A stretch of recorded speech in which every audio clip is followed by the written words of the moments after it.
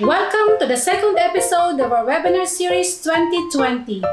Lights, camera, action, research.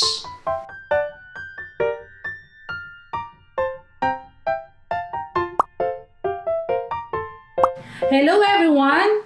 At this point, I would like to congratulate all of you for successfully finishing episode 1.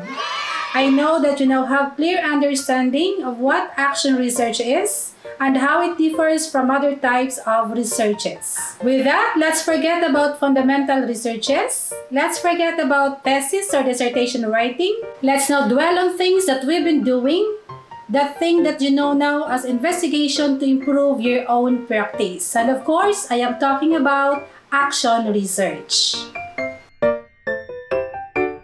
Let me bring you to the next level towards understanding about action research. This episode shall focus on the action research process. At the end of this episode, you shall be able to understand the action research process, and demonstrate understanding on how to use action research to improve your own practice. Different authors present the action research process in different ways. However, the majority of them agree that action research is an undertaking that is primarily conducted to improve one's own practice. They further agreed that action research may also be called a cycle of action or cycle of inquiry, since it typically follows a predefined process that is repeated over time. The process of action research begins with a concern or interest from one's own professional context. This concern leads to gathering information and knowledge about the concern. Based on existing and new information and knowledge, a researchable plan is devised and implemented within one's own professional context. Data on the implemented plan are then collected and analyzed. The findings of the action research are shared with colleagues, administrators, and other stakeholders. In an ongoing process, action researchers continue to observe, reflect, and plan according to Nugent et al. in 2012.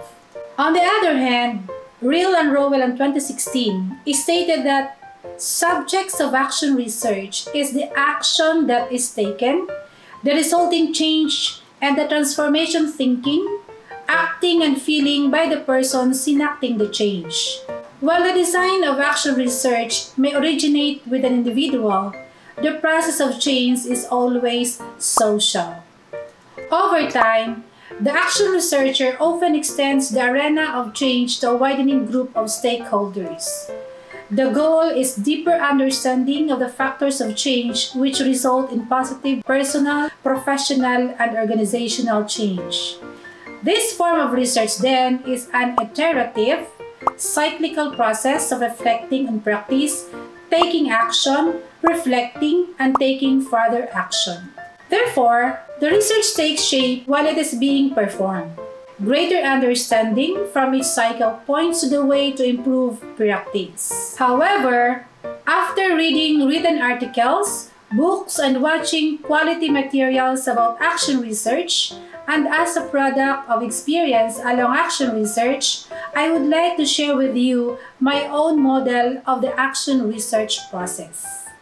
This model is called the 5D Action Research Model. This is simplified to guide you in every step of an action research process. Illustrated here is the cyclical and spiral nature of action research as an approach to solving a classroom issue or problem. However, it does not always follow that one problem needs to undergo the three cycles as illustrated. This diagram only shows that action research does not end in one attempt to effect change in the phenomenon identified. This greatly depends on the objective of the study and the progress of the action research process. When a desired change or result is attained, that's the time that the cycle stops. Then the practitioner may look for another problem to be addressed in another set of cyclical steps. Let me now discuss in detail the five basic steps in action research composing the 5D model. First D. Detect. Identify the problem. Inside the classroom, you are confronted with overwhelming issues and concerns starting from curriculum implementation, assessment, students learning, and the like. It is therefore important that you will identify issues of concerns that need immediate action. Most errors of action researchers start from being too ambitious in addressing classroom problems. Effective action research starts with a clear and focused action research problem. However, not all researchable problems can be solved through action research. Action research addresses a practical problem.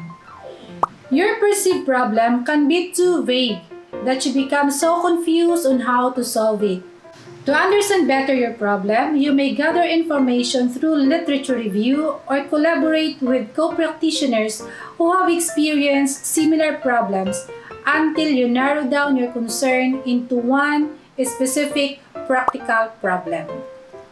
It is the smaller and actionable part of the bigger research problem. Always remember that you can never solve all your problems in the classroom in just one action research. Focus and specificity are elements that make action research an effective way to solve immediate problems in the classroom. Second D, design or create a plan.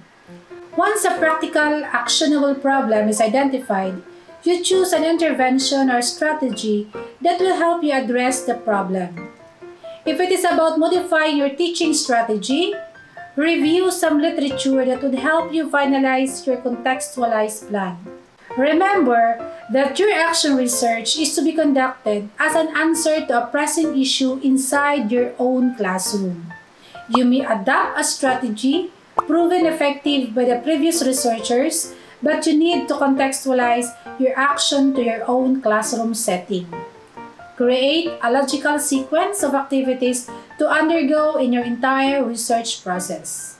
It would help you in actual implementation if you include in your plan anticipation of possible delays and obstacles. Third D, do or act to implement the plan. In this phase, you are to implement the plan, be it an application of modified strategy, use of new learning materials, change in classroom management techniques, or any intervention or solution that you have incorporated in your plan. Fourth D, determine, observe, collect, and analyze. You are now to observe the effect of your intervention to your teaching. Using the appropriate data gathering tool, you will record the indicators of performance, behavior, and other observable measures. In your plan, you have outlined the tools that you'll be using in your own action research. It is important that as a researcher, you are familiar with these tools to facilitate getting of accurate and necessary data related to the classroom phenomenon you are studying. And the fifth D, disclose, reflect, and share. The findings of the action research are shared with colleagues, administrators, and other stakeholders. It is where we see the effect of the action research to address the identified problem. But it does not always follow that every research ends with what we expect to happen. Due to vulnerability of the action research process to uncontrollable factors and researcher's bias, we need to reflect on the result as well as on what we did along the process. Sharing the result to colleagues would be an avenue for deliberation and feedback mechanism. After this, a refined research problem is identified and a new plan is created and a better solution is implemented and a new cycle begins. This is the interaction research process that makes it different from other types of researches. As discussed earlier, action research is less formal and action-oriented. It is not rigid to follow steps objectively. Along the process, the researcher may do some revision on the plan, gather more data, analyze, reflect, share, and so on. What guides the progress is the quest to find answers to the posed problem. Alright, that ends our second episode of this webinar series 2020.